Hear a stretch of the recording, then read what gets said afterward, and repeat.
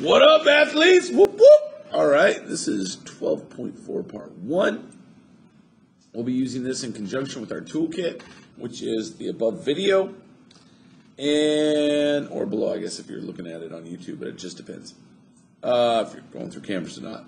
Our learning target today is I will analyze and construct viable arguments. Go ahead and write that down, and then take a minute, look at the warm up. You're just deciding whether or not these are true or false statements. Ready, set, go.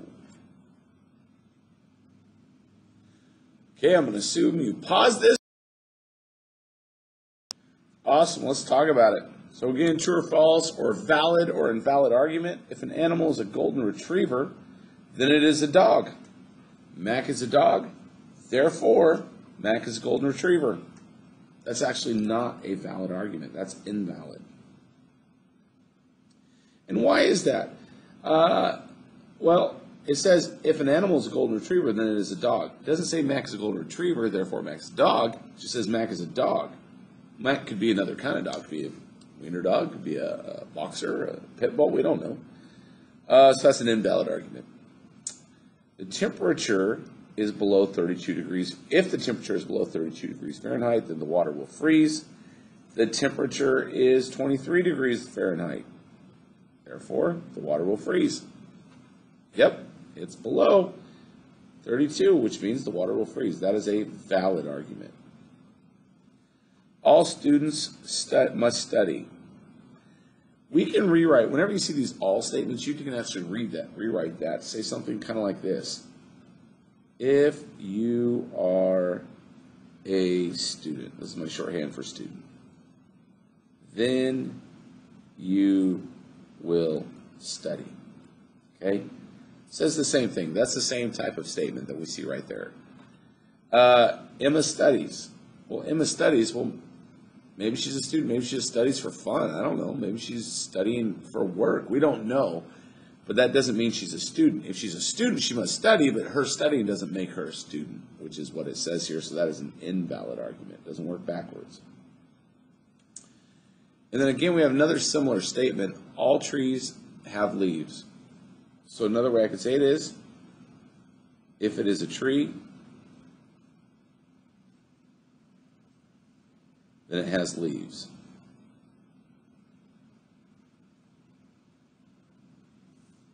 An oak is a tree.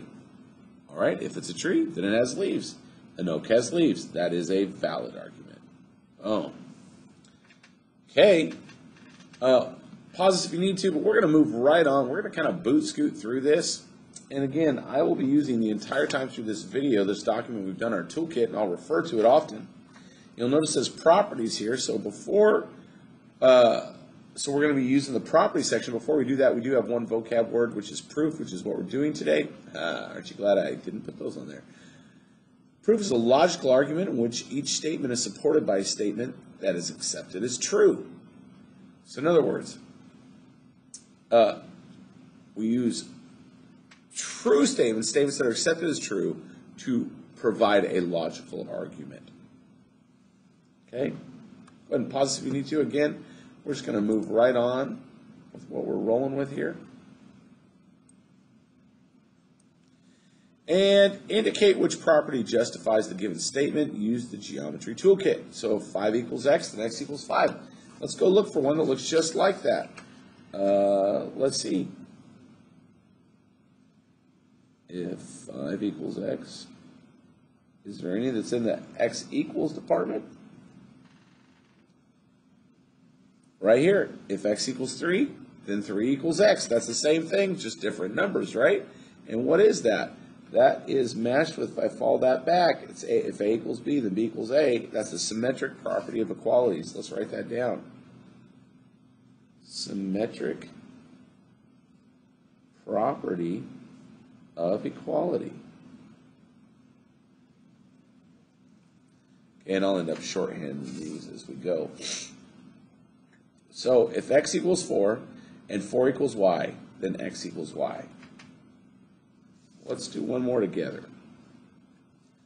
Let's go down. No, it's not really that. No, no, no, no.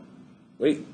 If x equals 3 and 3 equals y, then x equals y. Well, that looks pretty similar. What is that? That is the transitive property of equality. Write down transitive prop of equality. Okay? Take a minute, see if you guys can fill in the blanks for the other two. You're actually finding the statements that match these and then filling in what's not there using their numbers. Ready, set, go. Okay, I'm going to assume you did this. So let's see. It says, uh, if blank, then x times 3 equals 4 times 3. Okay. Let's look right here.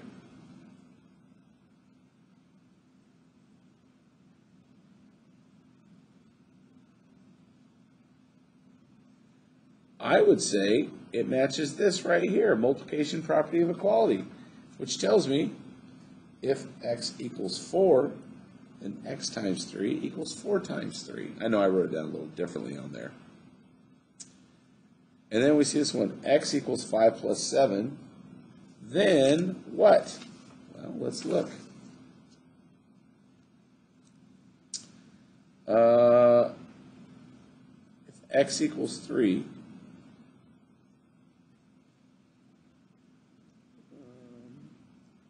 I think that's it exactly. Let's go up here.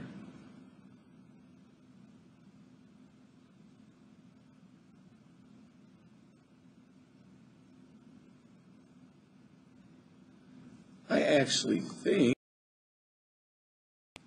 all right, this, I think this is the substitute property. If A equals B, then A may be replaced by B in any equation or expression, which you see right here. If x equals 3 and y equals 5x plus 2, and y equals 5 times 3 plus 2. It's a little different, but we're going to make that logical leap.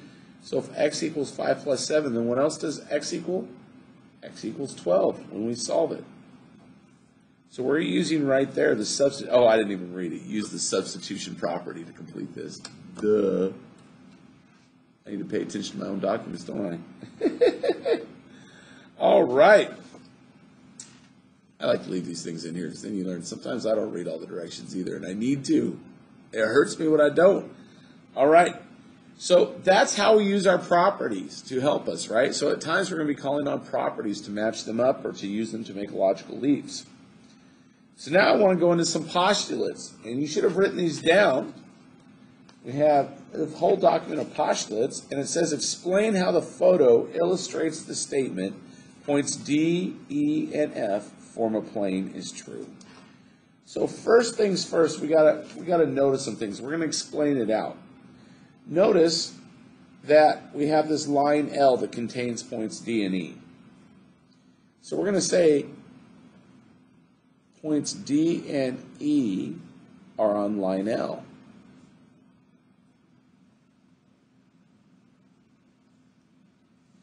But what do we also notice? Look at point F. Is not. It is not on line L.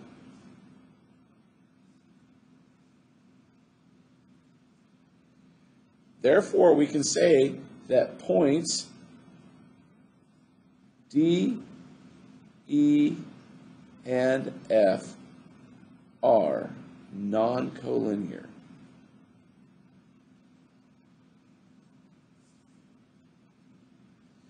So, why was that important? If we look at our postulate that talks about a plane, let's look at that. It says, through any three non-collinear points, there's exactly one plane. So what are we showing here? What postulate demonstrates that points D, E, and F form a plane, right? It takes three points to form a plane. And that's kind of this face of the building we see right here, right? This little that face of a building that's kind of making a plane going out right there? How do we know it forms a plane? Because we have three non-collinear points. And what postulate was that? That was postulate 3.3.2 that says that and demonstrates it right here. So we're going to say 3.2 tells us that through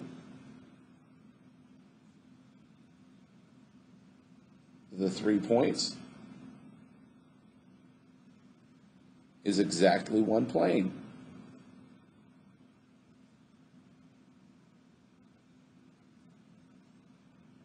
This is represented by the side of the building.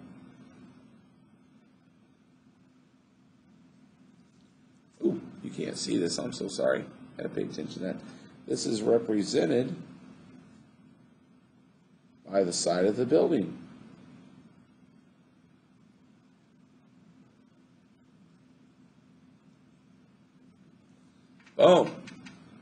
Take a minute, pause if you need to, get this written down. You can tell, proofs are going to be a little bit different. They're going to be a little heavy on the explanation side of things. Okay? We don't just say it and leave it, we got to explain it. All right. We're going to do more postulate work right here. So we're going to use the postulates to answer the following with always, sometimes, or never true. Line R contains only point P. Let's look at our theorem about lines. What does it say? Or our postulate. Through any two points, uh, there's exactly one line. Okay. Uh, how about this one? Let's look at 3.3. A line contains at least two points. Ooh. You see that? 3.3? A line contain 3.3. A line contains at least two points. What does that mean? Let's look at this right here. It says line R contains only point P. Well, that can't be, so that's a never. And we know that because 3.3 says a line has at least two points.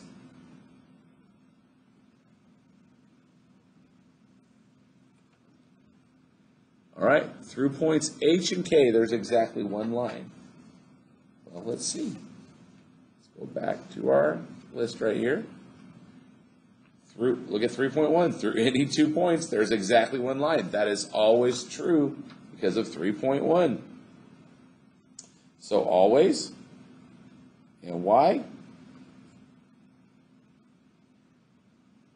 Well, you say because 3.1 says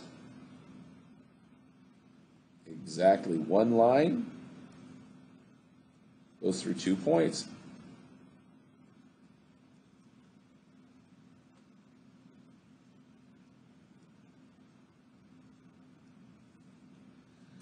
All right. Take a minute, see if you can do C and D, and then uh, we're just going to take a look at them. Ready, set, go. All right. If two coplanar lines intersect, then the points of intersection lie in the same plane as the two lines. So two coplanar lines intersect.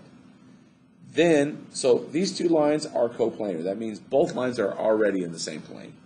Then the point of intersection lies in the same plane as the two points.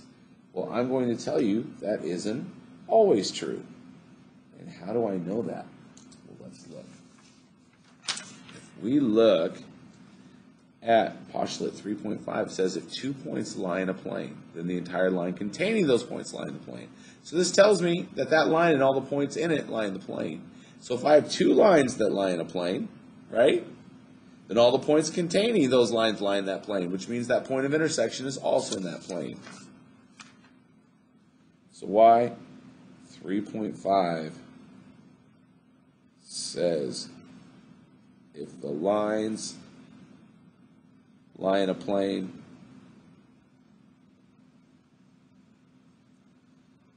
All of the points do as well. And I know you guys may not be giving exactly these descriptions like I am, or maybe they're not as detailed, or maybe you're just barely getting on to the postulate doing it. That's okay. This is a start. I'm giving you, I've done this for a lot of years, so I'm able to do this. Okay, four points are non-collinear.